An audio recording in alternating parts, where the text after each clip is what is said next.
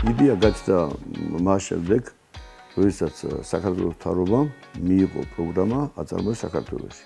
და შესთავაზა საქართველოს მოქალაქეებს და უცხოელებს, რომ გაეკეთებიათ სუბსიდიები და თვითონაც დაეხმარებოდნენ ფაბრიკის ან სხვადასხვა დაწესებულების აღორძინებაში.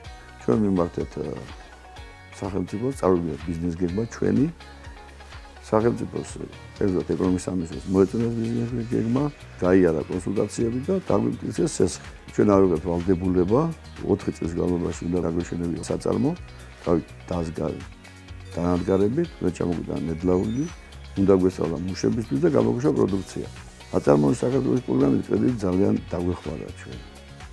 დაგვეხმარა იმით კიდე სახელმწიფო რომ ის სასტუმროები, რომელიც აწარმოებს საქართველოსში სასტუმროებს აშენებდნენ, ჩვენგან შეიძინეს მატრასები უკვე მათთვის გათვალისწინებული ფასების გაანგარიშებით. ფაბრიკაში მუშაობს დაახლოებით 30 კაცზე მეტი პიროვნება. დღესდღეობით საქართველოს ბაზარზე თითქმის ათვისებული გვაქვს. ჩვენ პროდუქციას ყველა იცნობს. პროდუქცია გატანილი გვაქვს აზერბაიჯანში და გავიტანეთ პირველი პარტია ამერიკის შეერთებულ შტატებში. ჩვენი პროდუქცია მოეწონა ვინ შეგვიგეთა ვინ შეიძინა.